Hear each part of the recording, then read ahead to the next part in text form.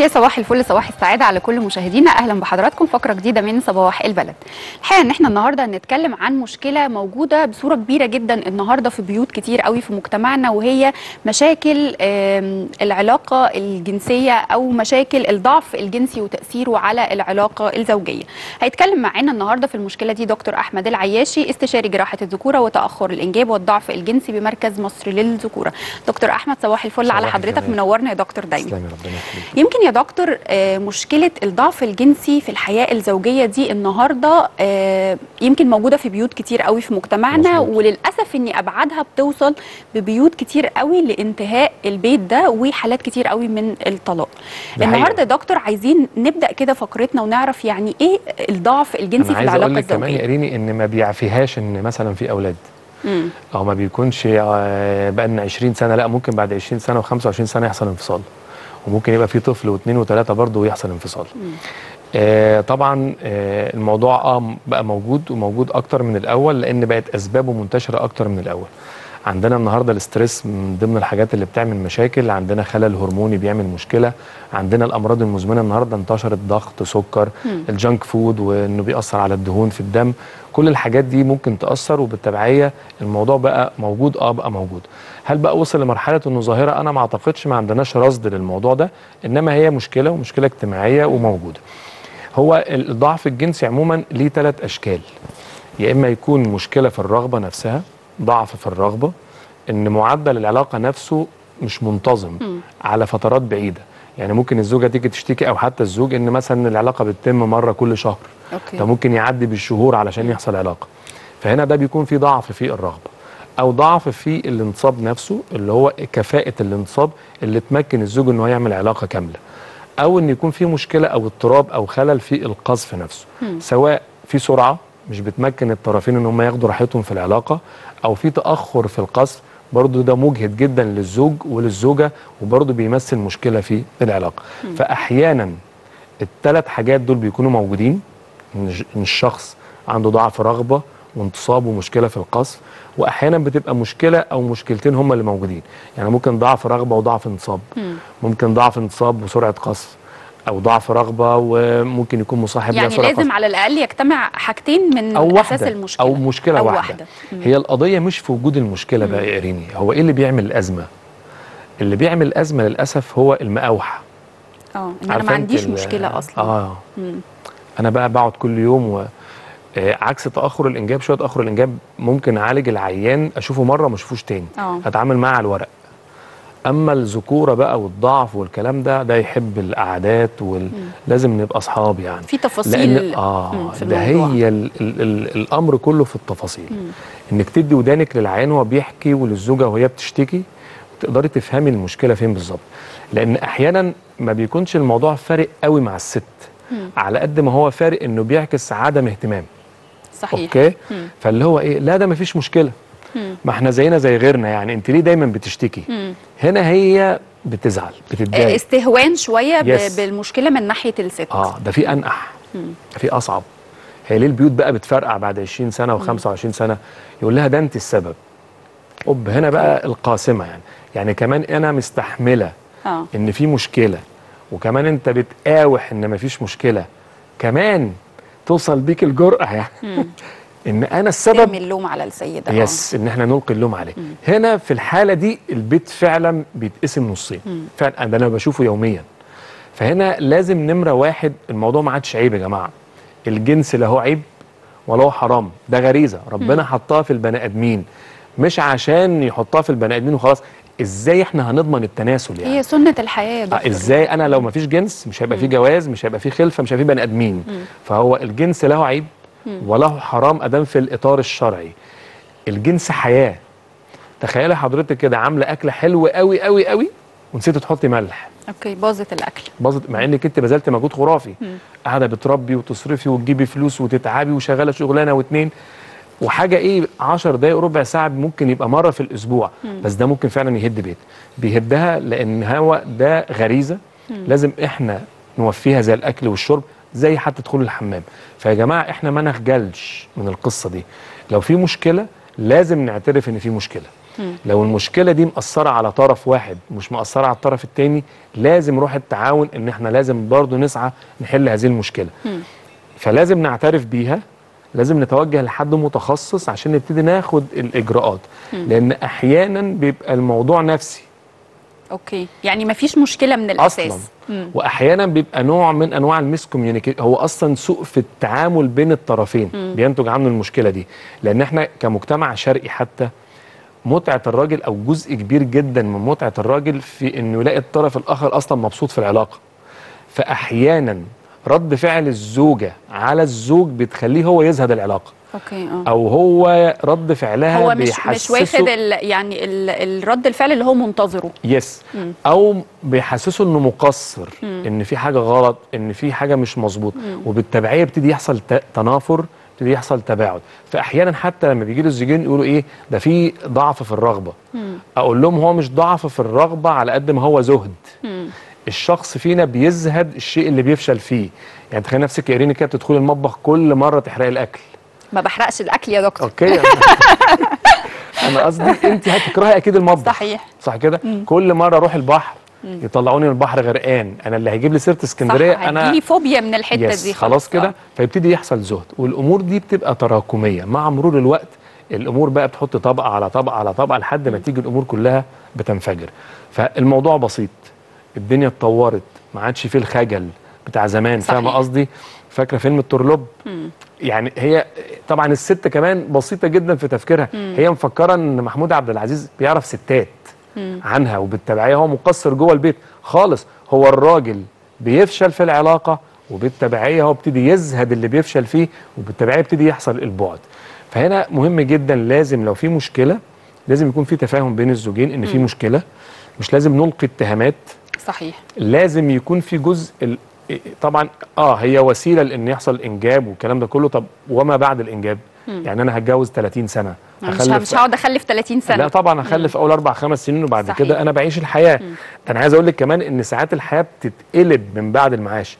يعني خلاص أنا خلفت في الأول كانت مهمتي الإنجاب وأنا شاب صغير. النص الحياة بتاخدني. آه بحقق مستقبلي بجيب فلوس الولاد بتكبر.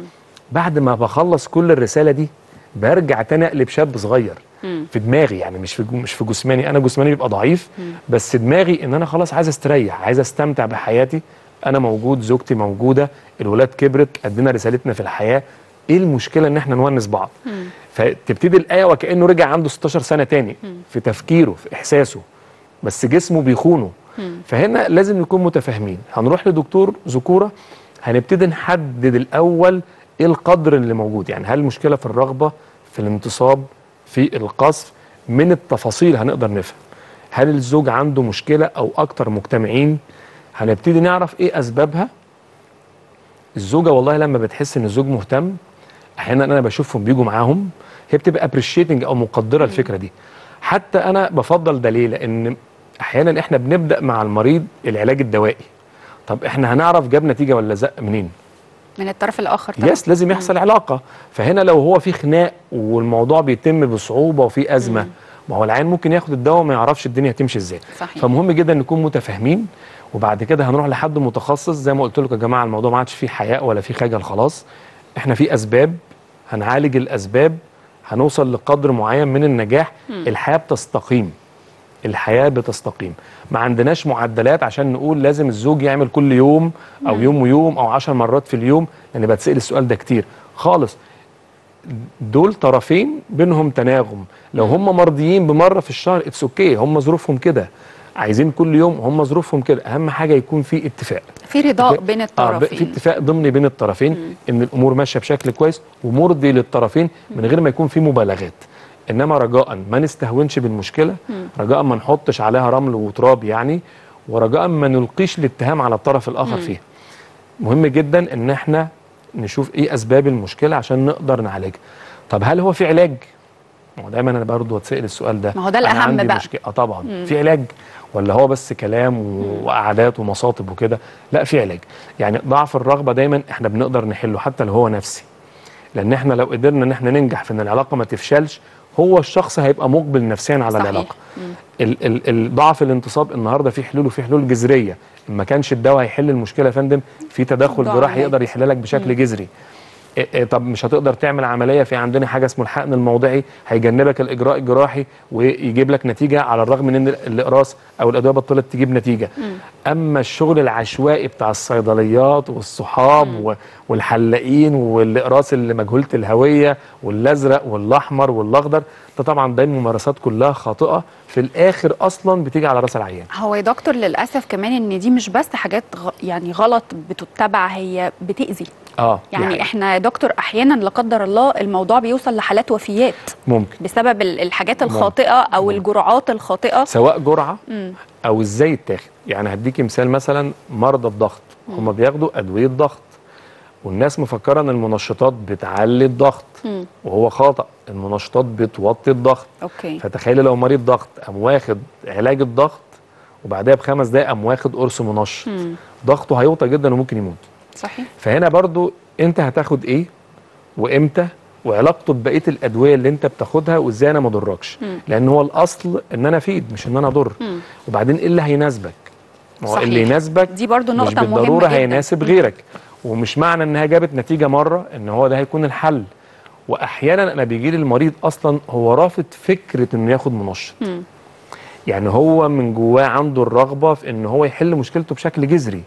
فإحنا لو قدرنا نحدد أسباب يمكن التعامل معاه بشكل جذري يبقى مشكلته هتتحل بشكل جذري وهيستغنى عن المنشطات. فده مهم جدا. طبعا. لأن أحيانا الحاجات دي بتبقى عفوية. مم. ما بتحبش الترتيب. ويمكن المنشطات ليها شروط شوية نقول بطن فاضية وقبل العلاقة بقد كذا. ففي ناس ده بالذات لو سنه صغير ده بيبقى مؤذي نفسيا بالنسبة له. هو أنا لسه هقول بقى استنى أو. الموضوع مش مريح عموما مش مهم. يعني. فهنا مهم جدا إن إحنا نحدد أسباب لأن في أسباب يمكن علاجها. مم. المريض ممكن يتخلص منها مم. يوم يرجع كويس زي الأول من غير أدوية. ما يحتاجش بقى يفضل ماشي نهائي. هي بياخد كورسات لمدد معينة وبيرجع إنسان طبيعي جدا ما عندوش مشكلة. وفي حاجات زي الأمراض المزمنة بتضطرنا إن إحنا العيان ده يفضل منتظم على حاجات. تمام. بس لو هو منه لنفسه ممكن بعد فترة قصيرة جدا ينتكس ويجيني. مم. إنما لو هو تحت إشراف طبيب أنا أقدر أخليه فترات طويلة ماشي كويس. مم. العلاج الدوائي ما جابش نتيجة عندنا حلول أخرى. تمام. المهم الموضوع ليه حل؟ آه ليه حل. دكتور أنا عايزة بقى نصيحة سريعة من حضرتك النهارده لكل اللي بيشوفونا سواء شباب لسه ما أقبلوش على الحياة الزوجية أو سواء متزوجين. للرجل وللسيدة عايزة من حضرتك نصيحة ليهم النهارده نصيحة جذرية بقى يعني اللي هو لأي حد بيشوفنا دلوقتي عنده مشكلة يبدأ يتحرك بصوا يا. جماعة أدام في الإطار الشرعي أنت يعني حقك 100% ده بالعكس أنا نصيحتي لأي حد سنه كبير ما تسيبش نفسك أرمل خالص مم. اللي انفصل يعني أول ما تنفصل ما تقعدش كتير. أنا بيجي لي ناس بقى له 10 سنين أرمل مم. خمس سنين مطلق. الكلام ده خطر جدا جدا أصلا. يعني أنا دايما أقول لهم حتى كده إيه ركنة العربية بتبوظ البطارية. فممنوع يا جماعة ده حق إنساني. مم. ربنا مش حاطه فينا عشان يعذبنا بيه. خالص ده أوجده عشان البشرية وفي جزء للمتعة. فإحنا لازم ما نحرمش نفسنا.